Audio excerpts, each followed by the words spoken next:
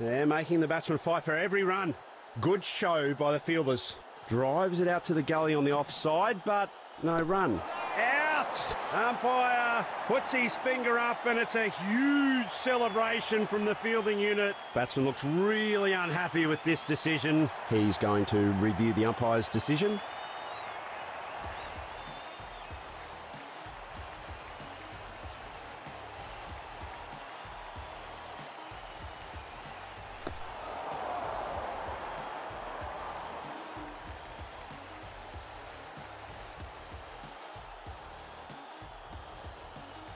Some really top-notch bowling.